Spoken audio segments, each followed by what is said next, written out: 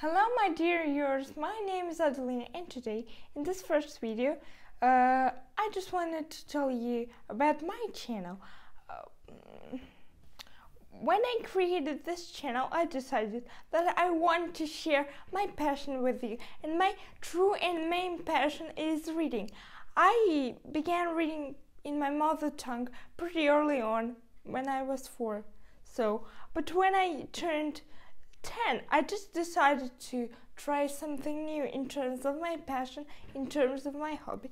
So at the beginning i read uh, the books that were only uh, filled with grammatical comments with additional hints so but my main aim is to share with my audience the opinions that I got, the impressions that I got from the books that I read, uh, I want to share that love and affection about certain characters with you and I hope you will like it.